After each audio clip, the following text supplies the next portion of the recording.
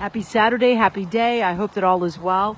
Earlier, I posted a TED talk about joy and color, and you can put color anywhere in your world from painting a desk, painting a wall, to buying colorful clothes, to planting a gorgeous garden. I've thoroughly enjoyed this garden this summer.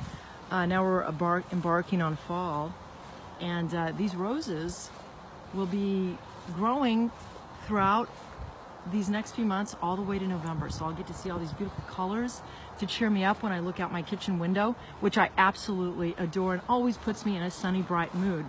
And over here, my garden that I planted with Amy Omstead, uh, Amy of Omstead, is just thriving. I so enjoyed this garden and look how big and thriving it is.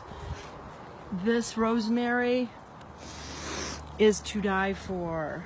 This oregano to die for. Lavender, I'm gonna take this little piece and I'm gonna put it in some water and make some relaxing lavender tea for my afternoon. This is a form of oregano. This is another form of oregano. Lemongrass over here. My gorgeous ruby tomatoes. Marigolds, which keep all the flies away and all the insects that we don't want. Bees we do want. But how about that for a burst of color today? Have a really fabulous one, and I hope you have something fun planned for the weekend.